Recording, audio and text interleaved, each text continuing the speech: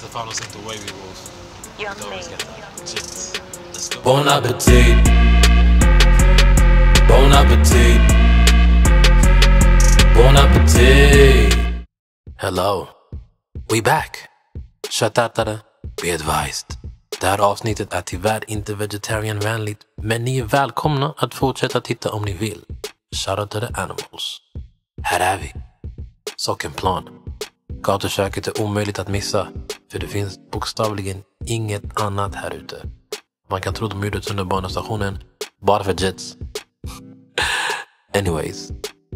Nu var det dags. Jag och tryffelbörjaren. En love story. Den här stunden förändrade allt. Jag var inte redo. Plötsligt lämnade jag Sockenplan. Fysiskt var jag kvar, men spirituellt. Jag var någon annanstans. Där uppe bland stjärntecknen. My God. Det här är den bästa burgaren jag ätit på väldigt länge.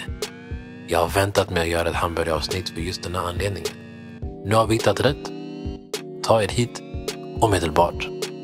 Sötpotatisen var inte söt. Den var beautiful. En perfekt balans. Jag åt det här en vecka sedan och jag är fortfarande mätt. Ekonomiskt. Nu när the Rona är här, man tänker tillbaka på alla utgifter man har gjort. Man ångrar sig i onödan. Var det verkligen värt att äta där och där och där? Man scrollar igenom sin kontohistorik och tänker, vem är jalen? Vad har jag gjort? Men inte här. Här, på Jets, du får värde för dina pengar. Stefano Saint.